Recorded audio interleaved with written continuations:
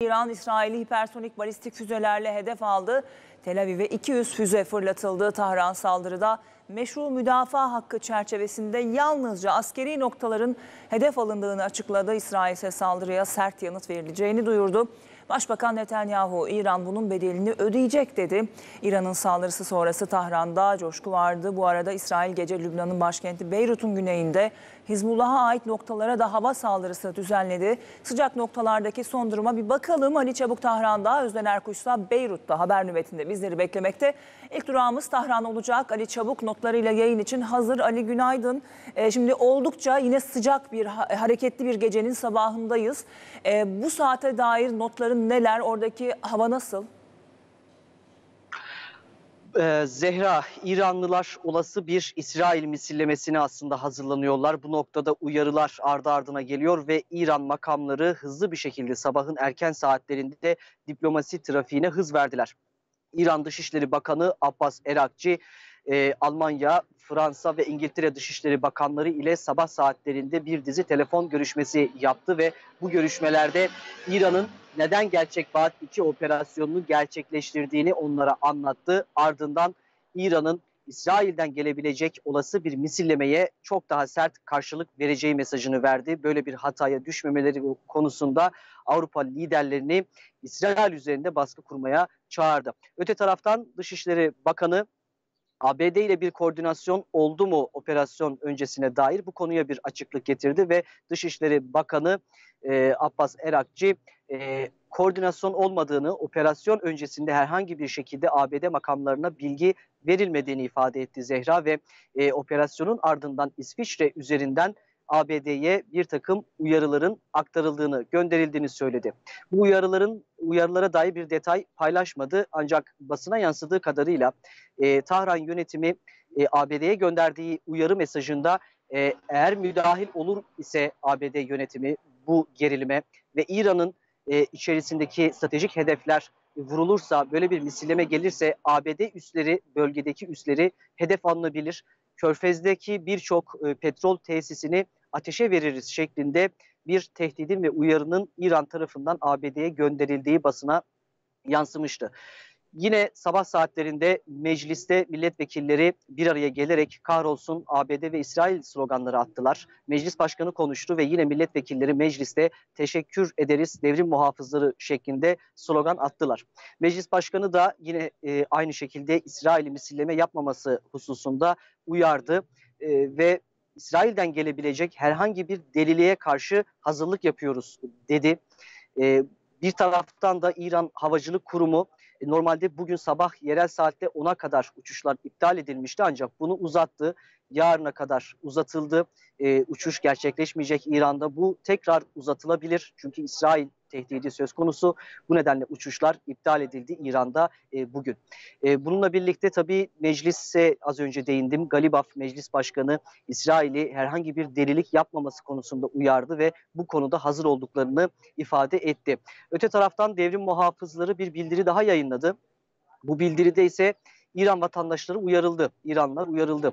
İsrail ile işbirliği yapmak suçtur denildi ve sosyal medyada özellikle İsrail'i destekleyen, İsrail yanlısı tutum sergileyen hesapların tespit edilmesi noktasında devrim muhafızları bir bildiri yayınladı. Bu konuda İranlar uyarıldı ve e, bölge çok hassas bir e, durumda. E, bölge ülkeleri de bu hassasiyeti bilmeli ifadesi kullanıldı ve e, bu noktada İsrail yanlısı, İsrail ile işbirliği yapanlar hakkında da işlem yapılacağı ifade edildi yayınlanan bildiride.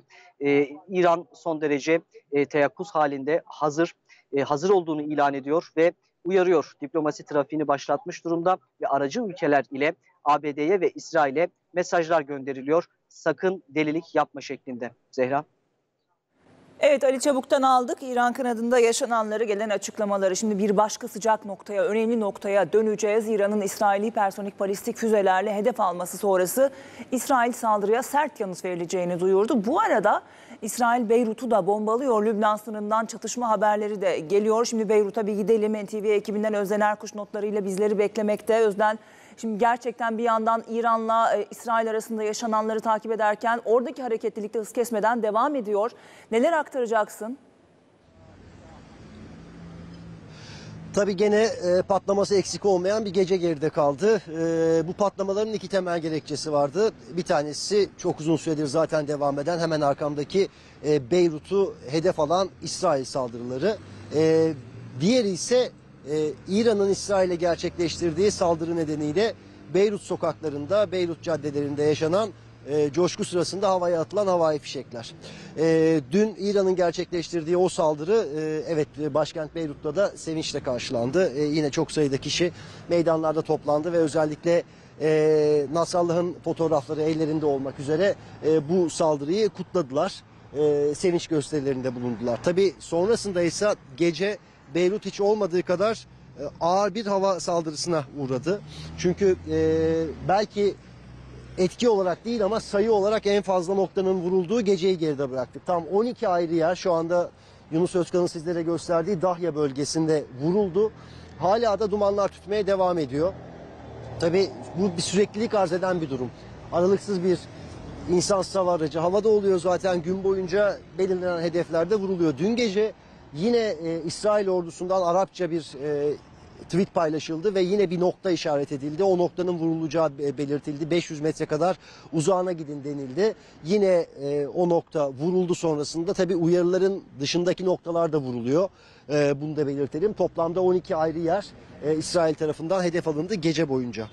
E, tabii bu gerginliğin devam etmesini bekliyoruz. Dün de benzer şekilde hem Dahya'nın şu anda izlediğiniz Dahya bölgesinin hem da içinde hem de dışında bazı noktalar İsrail savaş uçakları tarafından hedef alınmıştı. Bunların bazıları kesin istihbarata dayalı olan saldırılar oluyor. Örneğin dün e, sizlere aktardığımız o hastaneyle bitişik olan binaya dönük saldırıda örneğin e, Hizbullah'a yakın bir e, döviz bürosunun olduğu, orada yine Hizbullah'tan üst düzey isimlerin olduğu belirtildi. Hatta Hizbullah'a e, silah taşıyan ve bu bağlantıyı kuran bir ismin hedef olduğuna ilişkin iddialarda dillendiriliyor. Bunu da e, belirtelim.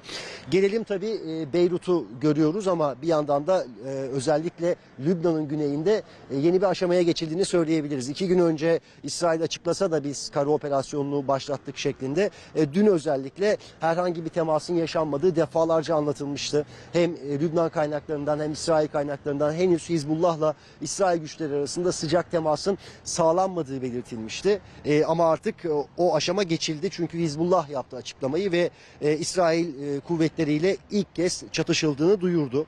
Açıklamada Hizbullah'a ait e, unsurların bu sabah Hallet el Mehavir yönünden El Adise kasabasına sızmaya çalışan tam sınır hattındaki yerleşim birimleri bunlar.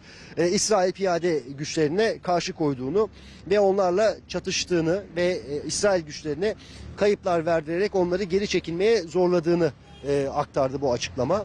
E, ve böylece bir e, temas, ilk temas, ilk sıcak temasla e, kurulmuş oldu. Tabi İsrail'in bölgeye dönük bölgeye dönük e, şi- uyarıları da devam ediyor. Lübnanlılara dönük uyarıları da devam ediyor. E, bu çerçevede yine dün e, bir uyarı yapıldı. Özellikle Lübnan'ın güneyinde yaşayan e, Lübnanlılara dönük. E, güneye gitmeye çalışmayın. E, Litan Nehri'ne doğru inmeye çalışmayın. Çünkü hareket halindeki her araç hedef olabilir ifadesi kullanıldı. E, çünkü Hizbullah'ın sivilleri e, bir kalkan olarak kullandığı iddiasında bulunuldu. Bu çerçevede özellikle sivil vatandaşlara e, sakın güneye gitmeyin şeklinde sınır bölgelerinden uzak durun. Oradan kuzeye doğru gidin. Lübnan, e, Beyrut yönüne doğru ilerleyin şeklinde yine uyarıları olmaya devam etti. Tabi sınır hattındaki çok sayıda noktanın e, evet bir noktada piyadeler ve Hizbullah güçleri arasında bir çatışma yaşandı ama hali hazırda çok sayıda noktada zaman zaman savaş uçaklarıyla zaman zaman da topçu birliklerinin atışlarıyla vurulmaya devam ediyor. Hem Beyrut'tan dumanlar yükseliyor hem de ülkenin güneyi, Lübnan'ın güneyi ateş altında İsrail'in saldırıları sonucunda Zehra.